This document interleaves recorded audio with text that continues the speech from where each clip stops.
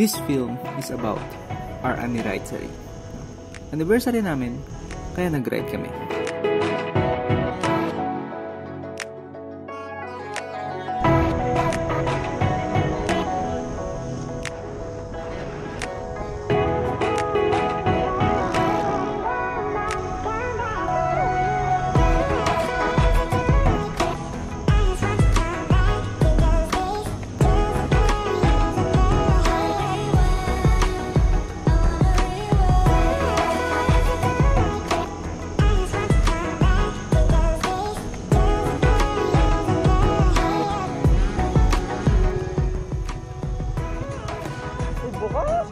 Po. Parang mas mas maganda dumaan doon. so guys, kung nagtatanong ko ako kasama, nandito kami sa monastery.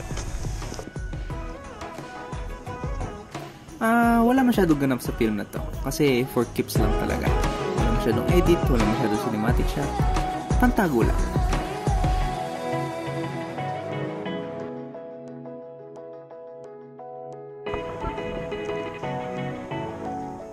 Happy ending! Pero sa loob ng 2 years natin, madami na. Happy anniversary, boss baby. No?